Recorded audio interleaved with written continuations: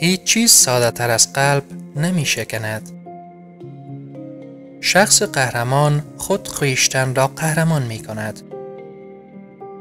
آنچه به بشر امکان زندگی می دهد تنها عمل است. ژان پول سارتر فیلسوف، رمان نویس، نمایش نویس، فعال سیاسی و منتقد ادبی فرانسوی است. از او به عنوان یکی از بزرگترین و معروفترین فیلسوفان و نویسندگان قرن بیستم یاد می شود. مردم فرانسه سارتر را به نام فیلسوف مردم می. در این بخش هم می پردازیم به سخنان فوق العاده ارزشمند و فیلسوفانه وی. پس تا آخر ویدیو با ما همراه باشید. مسئله تنها این نیست که چیزها ناپدید می شوند بلکه پس از آن یادشان نیز نابود می شود. همه چیزهای زیبایی را که می بینی به ذهن بسپار تا همیشه با تو باشند حتی در زمانهایی که آنها را نمی توانی ببینی. هنگامی که چیز از دست می رود دیگر نمی توان آن را پس گرفت. از همه اندوهگینتر شخصی است که از همه بیشتر می خندد. فقران نمی دانند که تنها دلیل آنها برای زندگی تمایل ما به تظاهر در برخورداری از فضیلت سخاوت است. در عشق یک نفر به اضافه یک نفر مساوی به یک است.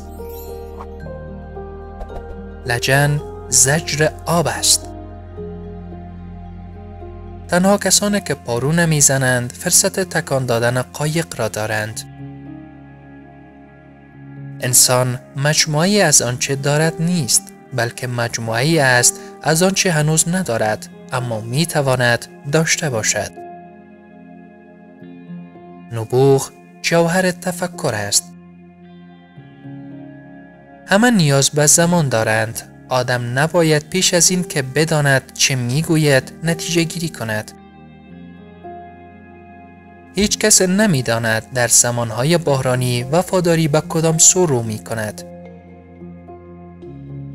نگذارید بچه ها گریه کنند زیرا باران هم غنچه ها را تباه می کند.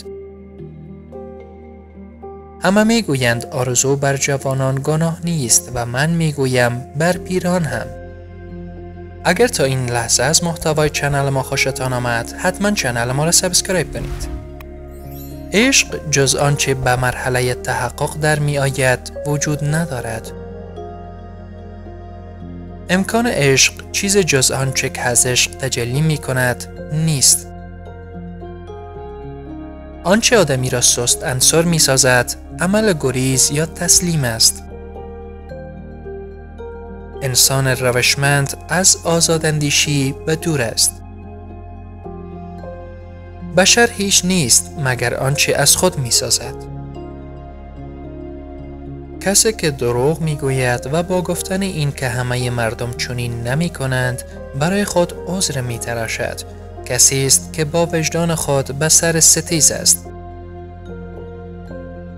کار جهان بر این مدار است که گویی تمام آدمیان چشم بر رفتار هر یک از افراد دوختند و روش خود را طبق رفتار همین یک نفر تنظیم می کنند. مردم از هر چیز سخن می‌گویند به ویژه از آنچه دربارهش هیچ نمی‌دانند. هر کس نیازمند دوستانی است. برای زنده ماندن باید خودت را از درون بکشی از این رو بیشتر آدم ها همه چیز را رها کردن. چون می‌دانند که هر اندازه هم تلاش کنند سرانجام میبازند و زمانی که به این نقطه رسیدی هر گونه مبارزه بیهوده است. انسان محکوم است که آزاد باشد چرا که به محض پرتاب شدن به این دنیا مسئول کارهای خیش است. هرگز در را نزن مگر اینکه بدانی در آن سویش چی میگذرد. آدم باید به این امر خوبی گیرد که به کمترین ها خورسند باشد هرچی کمتر بخواهی با چیزهای کمتر خوشنود شوی و هر اندازه نیازهایت را کم کنی امور زندگیت بهتر خواهد شد هنگامی که امید می میرد هنگامی که می بینی کمترین امکان امیدوار بودن را از دست داده ای فضای خالی را با رویا، اندیشه های کوچک بچگانه و داستان های پر می کنی تا بتوانی به زندگی ادامه دهی. اگر تا این لحظه از ویدیوی ما خوشتان آمد حتما ویدیوی ما را لایک کنید. اگر بخواهی از راه دویدن خودکشی کنی ابتدا باید خوب دویدن را یاد بگیری. مرگ تنها چیزی است که حس در ما برمیانگیزد. مرگ شکل هنری ما و تنها راه ابراز درون ناپیداست. فلسفه متکی به احتمالات که وابسته به حقیقت نباشد محکوم به نیستی است. من همیشه می توانم آزادانه انتخاب کنم اما باید بدانم که اگر انتخاب نکنم باز هم انتخاب کردم بشر از ابتدا موجود ساخته و پرداخته نیست بلکه با برگزیدن اخلاق خود خیشتن را می سازد. کم بیش کسی نیست که بخش کوچک از زندگی را چنانه که در گذشته بود در وجود خود به دوش نکشد. گوشگیری و کاهلی روش کسانی است که می‌گویند آنچه را که من نمی‌توانم کرد دیگران می‌توانند.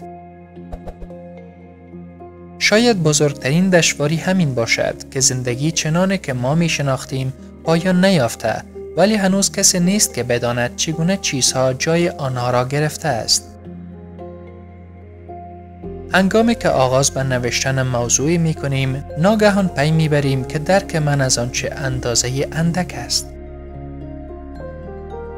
هر بار که میپنداری پاسخ و پرسش را یافته ای پی می‌بری که آن پرسش هیچ مفهوم ندارد.